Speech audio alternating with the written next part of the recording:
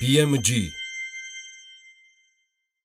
ტრადიციულად ინფრასტრუქტურის შენებელთა ასოციაციის რუბრიკის დროა დღეს ანანო გომართელი სამთო სამშენებლო სასოფლო სამეურნეო და განათების სისტემებზე ისაუბრებს ხადია სტომართან ერთად ანანო საღამო მშვიდობის გისმით საღამო მშვიდობისა ბექა კომპანია Boran Mining-ის საქართველოს ბაზარზე 10 წელია მოღვაწეობს. თავდაპირველად ის ავითარებდა სამთოსფეროს საქართველოში, შემდეგ დაიწყო გაფართოება და ჩამოყალიბდა Boran ჯგუფად, რომელმაც დაიწყო დივერსიფიცირებული ბიზნეს მიმართულებების განვითარება, ისეთი როგორც არის სამთო, სამშენებლო, სასოფლო სამეურნეო და განათების სისტემები.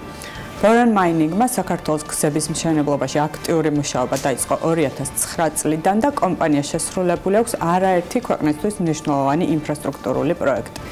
ჩვენ დღევანდელი რუბრიკის სტუმარია ბატონი ჯანიკო ყაფლანიშვილი, რომელიც არის Foreign Mining-ის ხელმძღვანელი.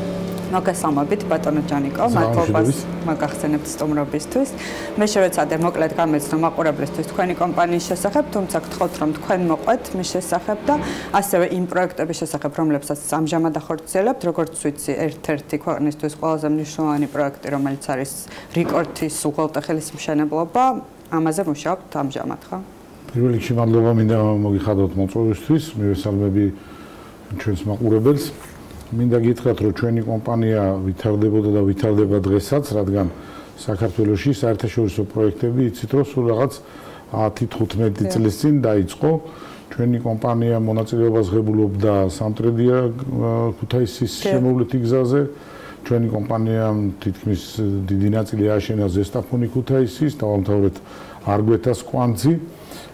ეხლა მუშაობთ რიკოტზე კომპანია ასტალდისთან ერთად, სადაც ჩვენ ნაწილს სამუშაოებს ავასრულებთ. მოგეხსენებათ, რომ საქართველოში ძირითადად ტენდერები დონორების გამოტანილია და დონორებს თავისი მოთხოვნა აქვს. შესაბამისად ჩვენ არა გვაქვს უფლება ამ ტენდერებში მივიღოთ მონაწილეობა. მიუხედავად ამისა ჩემი გადაწყვეტილებით ჩვენი ჯგუფი ინტენსიურად მუშაობს მხოლოდ საერთაშორისო პროექტებში. უკვე 10 წელია რომ ჩვენ მუშაობთ როგორც BS-ით ისე აშტოთი ისე იენით და კომპანია სრულად არის მზად პარტნიორობისთვის. ჩვენ ახლა რამოდენიმე კომპანიასთან თანამშრომლობთ და ანუ დააქირავებული ვიყავით იქიდან გამომდინარე რომ ესეთ ტენდერებში ქართულ კომპანიებს აქვს პრობლემა როგორც საბანკო გარანტიების ისე თვითონ სატენდერო მოთხოვნების დაკმაყოფილებისათვის რადგან არ არის შანსი ჩვენ დამენაერად მოხვდეთ. ხა იცით სწორედ ეს მაინტერესებს, ძირითადად სხულ ტენდერებში გამარჯვებას იპოვებენ ან სახელმწიფო შესყიდვების ტენდერებში არარეზიდენტი კომპანიები და რა შეიძლება თქვენი აზრით ამისთვის რომ გაკეთდეს, რომ შეიცვალოს ეს პრაქტიკა და თქვა ქართულმა კომპანიებმა შეძლონ რომ გამოიმარჯვონ სხულ ტენდერებში. მოგეხსენებათ ჩვენი ინტენსიური შეხვედრები გვაქვს ინფრასტრუქტურის მინისტრთან და გზების დეპარტამენტის თავმჯდომარესთან. ისინი ხშირად მართავენ შეხვედრებს. სწორედ ახლა ბოლოს ბოლოს შეხვედრაზეც ხონდა ლაპარაკი, ისინი ჩვენ გვაცნობენ ამის შესახებ, გვეხმარებიან, გეუბნებიან, რომ აი როგორმე მოახერხოთ, მაგრამ ჩვენ ზეგმსეულად შესწავლილი გვაქვს ეს საკითხი და ეს შეუძლებელია პრაქტიკულად ამაზე.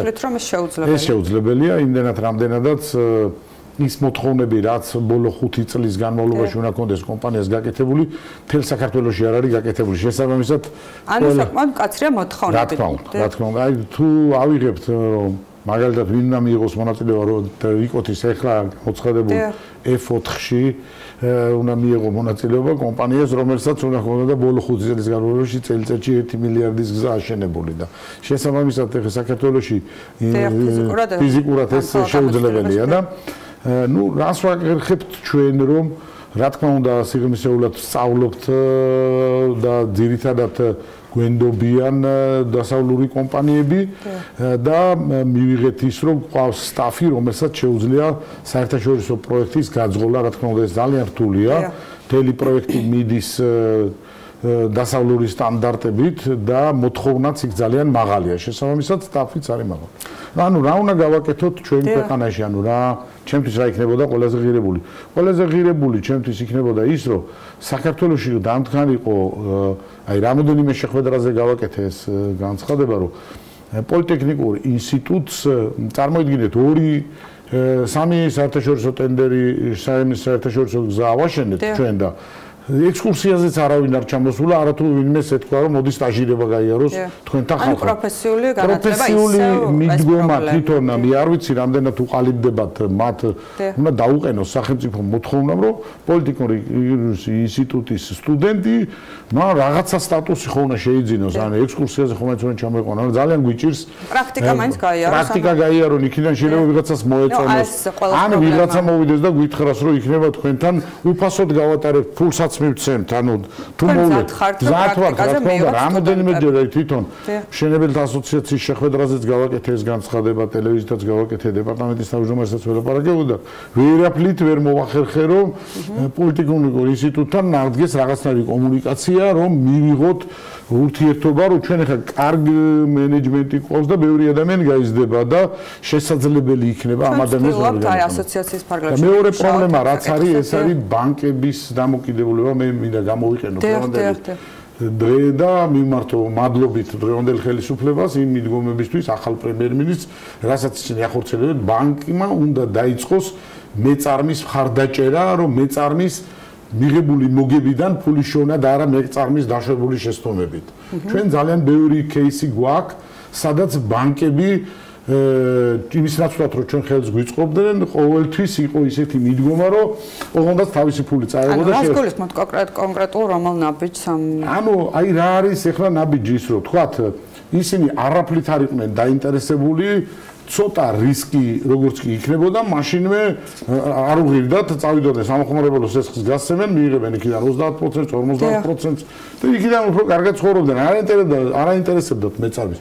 მე წლების მანძილზე ვიყავი მადლეულის ხელმძღვანელი და მე პირადად Deutsche Bank-ის დაფინანსებით წასული ვიყავი სამხრეთ აფრიკაში კურსებზე, ასევე გავიარე რამოდენიმე სწავლება და რამოდენიმე უნივერსიტეტში მოხვდი. მათი რეკომენდაციით, რომ ისინი დაინტერესებული რადგან ჩვენ ფული ქონდა აღებული Bank-ში. ანუ თუ ქართული ბანკების ხელშეუწყობენ ბიზნესმენებს და მეწარმეებს კარგი იქნება. რაც შეეხება BS-ის სწავლას.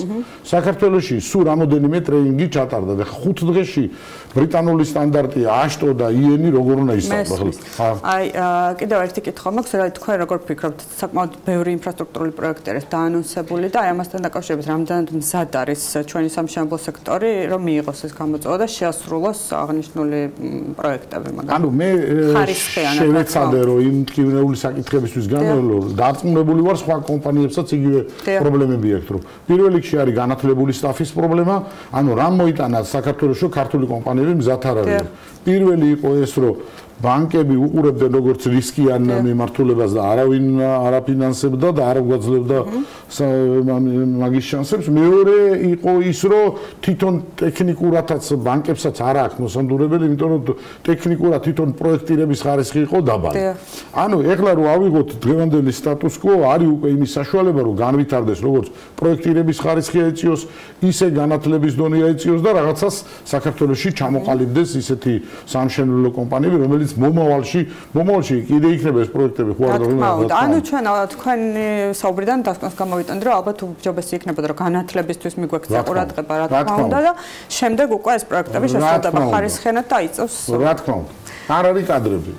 დიდი მადლობა ბატონო ჯანიკო სამწუხაროდ დღევანდელი გადაცემა უნდა დავასრულოთ ამით და იმედი მაქვს რომ შემდეგში მოვახერხებთ თქვენი.